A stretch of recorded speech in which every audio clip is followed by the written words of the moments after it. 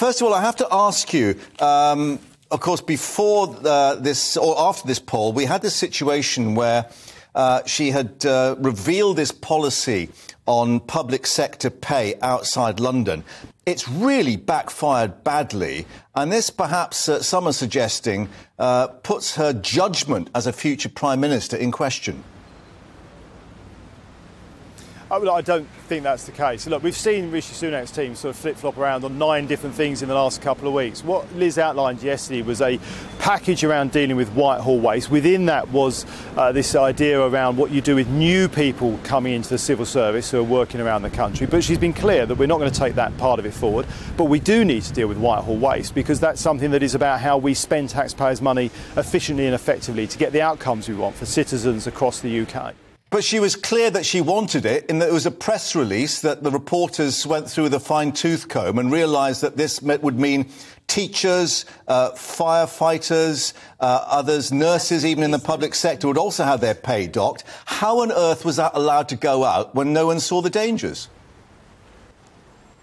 Well, no, look, actually, if you look at the wording of the, the, the release, what it outlined was uh, if you were to do this across the board, but Liz was very clear, that was never the case. We were never going to be dealing with or changing the pay of people who are working in the public sector. then why, why withdraw it then? COVID, particularly the challenges that what it was what what was she was looking at and what was outlined and what was being looked at was what you do about new people coming into the civil service new contracts as they come in but liz was clear yesterday we're not going to take that part of the package forward but the wider package around dealing with whitehall waste dealing with the fact we've seen the civil service grow by about 91,000 over the last couple of years is something the government does need to deal with. The current Prime Minister's been clear about that. The Treasury have tasked all of us, I was tasked as a Secretary of State to deal with that within our department. So we do need to do that. As a so state, why, sure why withdraw taxpayers' money efficiently and effectively.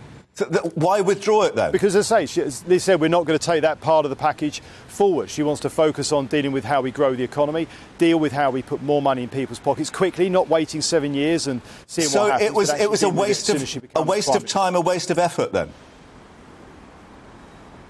Well, the wider package, as I say, around dealing with waste in Whitehall and making sure we're spending taxpayers' money efficiently and effectively, I think is important. It's something she does want to take forward. But she's also been outlining over the last few days her determination to deliver for farming, her experience at DEFRA, making sure that she, we can have food security here in the UK, set our farmers free, deliver an improved educational offer for our students across the country. One of the things we should be building on the excellent work that's been done over the last few years, because that's how you see real levelling up, the ability to benefit from educational opportunities, to benefit from the jobs of the future as they are developed. And I've seen that in my own constituency, and I want to see more of that across the country, as does Liz as Prime Minister.